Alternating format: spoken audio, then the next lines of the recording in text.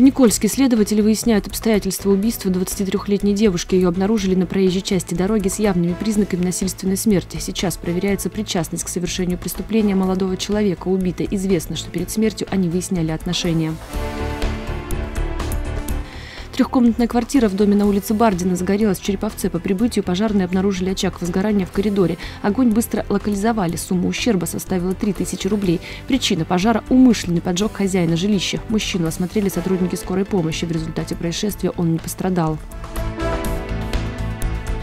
Всем же остановили водителя, у которого имелся целый список нарушений. Внимание полицейских привлек автомобиль «Урал», который перевозил деревья. В ходе проверки автолюбителя выяснилось, отсутствуют документы на древесину, нет документов на машину, грузовик не зарегистрирован, а сам водитель не имел права управления машиной. На мужчину составили материалы, грузовик арестовали.